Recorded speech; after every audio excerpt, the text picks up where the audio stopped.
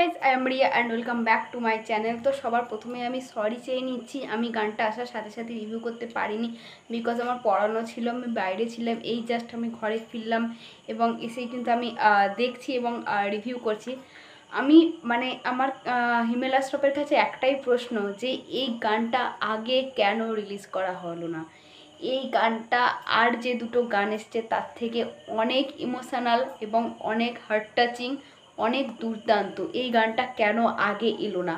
এই গানটাকে আগে আনা উচিত ছিল জাস্ট মাইন্ড ব্লোয়িং সং এবং গানটা নিয়ে বেশি কিছু বলারই নেই। আমরা প্রত্যেকেই কিন্তু জানি যে প্রিন্স মামুদের গান মানে সেটা অন্য লেভেলে চলে যায় এবং এক্ষেত্রেও কিন্তু সেইটা হয়েছে। তোমরা যারা সিনেমাটা দেখেছ আমি জানতে পেরেছি প্রত্যেক কিন্তু জাস্ট কেঁদে দিয়েছে। মানে সিনেমাটা এরকমই হার্ট টাচিং এরকম ইমোশনাল সবাই কেঁদে দিয়েছে, কাঁদতে কাঁদতে হল থেকে বেরিয়েছে।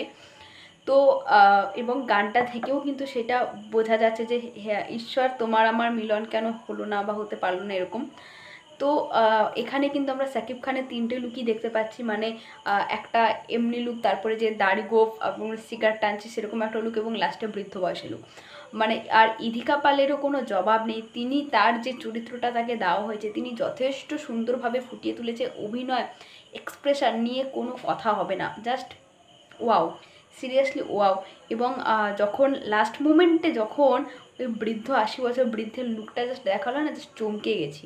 মানে ওইটা নিতে পারিনি। এতটাই মানে মানে ইয়ে টাইপের আর এত সুন্দর লেগেছে, ভীষণ ভালো হয়েছে। মানে এই গানটা না, সেরা। মানে মানে একটা স্যাড সং মানে বোঝাই যাচ্ছিল যে মধ্যে একটা স্যাড সং থাকবে এবং স্বর, এই গানটি স্যাড সং খুব সুন্দর অভিনয় বলো এক্সপ্রেশন বলো একদম হান্ড্রেডে হান্ড্রেড এবং কক্সবাজারের সমুদ্রে যে শুটিংটা সেখানটা খুব সুন্দর এবং যে মুহূর্তে ইতি অর্থাৎ ইদিকা পালকে যখন সুমন অর্থাৎ সাকিব খান টাটা করল, সেই যে চোখে চোখে একটা আই কন্ট্যাক্ট এবং যে ইতিকা কেঁদে দিচ্ছে এবং অপরদিকে সাকিব খানের অর্থাৎ সুমনের চোখ দিয়ে জল বেরিয়েছে, মনে মনে কাছে ছেড়ে চলে আসতে হচ্ছে। সেই জায়গাটা না জাস্ট নেওয়া যাচ্ছে না। অটোমেটিক কিন্তু চোখে জল চলে আসবে। আমাদের গান দেখেই চোখে জল চলে আসছে। তোমরা তো সিনেমাটা দেখেছ। মানে তোমাদের কী অবস্থা হয়েছে বুঝতেই পারছি। আমি মানে রিকোয়েস্ট করব যেন কলকাতায় মুভিটাকে আনা হয়। প্রথম দিনই কিন্তু দেখতে যাব। মানে গানের, যে কটা গান এসছে পোস্টার আছে প্রত্যেকটা দেখে এতটা মাইন্ড ব্লোয়িং লেগেছে সিরিয়াসলি বলছি।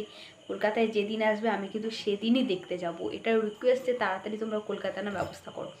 ভীষণ ভালো হয়েছে, আমার ভীষণ ভালো লেগেছে। আমি মানে এখন ভাবছি আমি কেন আগে পারলাম না রিভিউটা করতে। মানে আমি এতক্ষণে কেন দেখছি? এবং আমার কিছু বলার নেই সিরিয়াসলি এই গানটা নিয়ে অসাধারণ হয়েছে। তোমরা যারা অলরেডি সিনেমা দেখে নিয়েছো, তাদেরকে তো কিছু বলারই নেই। যারা দেখো নি তোমরা প্লিজ কিন্তু এটা মিস করো না। তোমরা হলে গিয়ে দেখো। মানে তোমরা যদি এটা মিস করো, একটা বিশাল বড় কিছু তো মিস করে যাবে। মিস করো না, তোমরা হলে গিয়ে দেখো। আমি আর কিছু বলতে পারছি না, আমার জাস্ট গানটা দেখে আমি নিজেও ইমোশনাল হয়ে পড়েছি। আর কিছু বলছি না এখানে ভিডিও শেষ করছি। টাটা।